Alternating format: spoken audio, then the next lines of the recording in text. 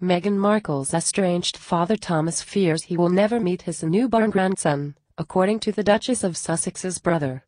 Meghan and Harry welcomed their firstborn into the world at 5.26 am BST on Monday morning, weighing in at 7 pounds 3 ounces, after being more than a week overdue.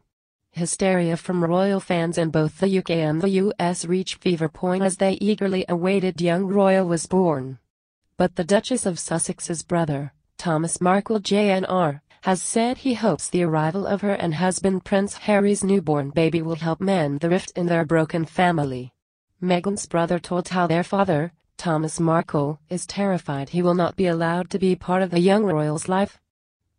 Meghan and her father have not spoken since just before the royal wedding in May 2018 and he wasn't included in an official announcement confirming the birth he has given numerous interviews telling of his heartache at being cut out of the Duchess life.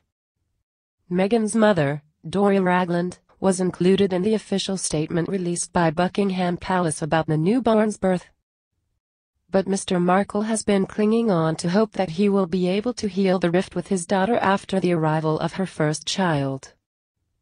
Thomas Jr. told The Sun, hopefully this baby will help mend the family rift we'd all love to meet the baby and become a part of his life especially my dad.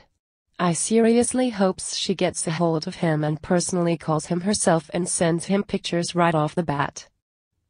She was a very fortunate child growing up and she is very fortunate now and she has my dad to thank for that. He dedicated every moment of life to her he deserves to be part of the baby's life. Previously a friend of the family told Express.co.uk that Mr. Markle was upset at the prospect of never meeting his grandchild.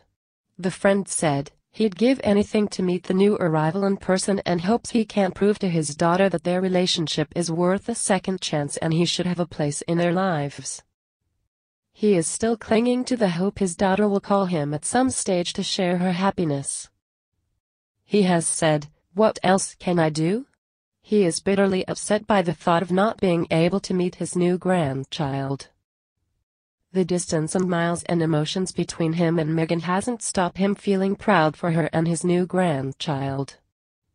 He'd give anything to meet the new arrival in person and hopes he can prove to his daughter that their relationship is worth a second chance and he should have a place in their lives. What do you think? Share your thoughts in the comment section below and don't forget to subscribe to get instant news update.